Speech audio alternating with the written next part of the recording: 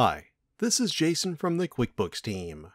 While you can automatically add most bank and credit card accounts to your chart of accounts when you connect them to online banking, there are some accounts that you'll need to add manually, like loans and fixed assets. Let's go over how to manually add an account to your chart of accounts and why the opening balance is so important. Then we'll go over how to add multiple accounts at the same time. Let's create an account. Select Settings, Chart of Accounts. Then select New. Then enter a name for the account, and a number if you use account numbers. Next, choose the type of account you want to set up. Account types identify where the account appears on financial statements. Account types, from the top of the list down to equity, appear on the balance sheet, and account types from income to other expenses appear on the profit and loss statement. Check out this video to learn more about account types and how QuickBooks builds your financial statements.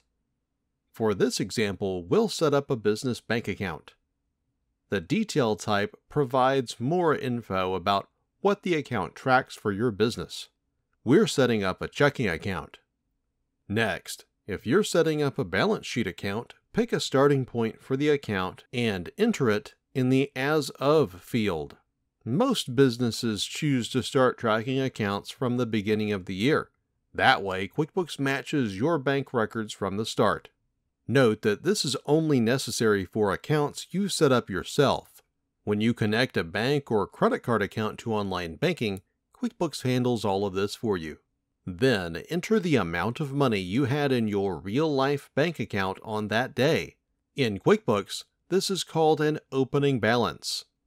The best way to find this is on your bank or credit card statement. This number is very important. It becomes the account's starting point and will help ensure your QuickBooks records match your bank's records. You can enter your own notes about the account in the description field. When you're done, select Save.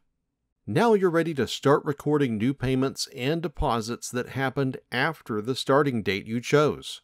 You don't need to enter anything that cleared the bank before that date. If you decide later on to add transactions before the as of date, we recommend working with your accountant.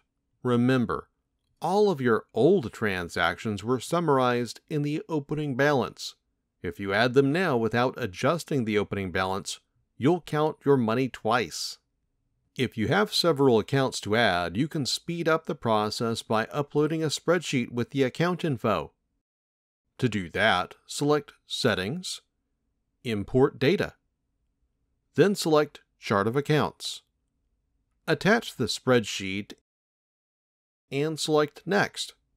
Then map the fields in your spreadsheet with the fields in QuickBooks. Once you've got everything set up, select Next. You can make any final changes here. When you're done, select Import. Note that when you import accounts, you can't bring in their opening balances.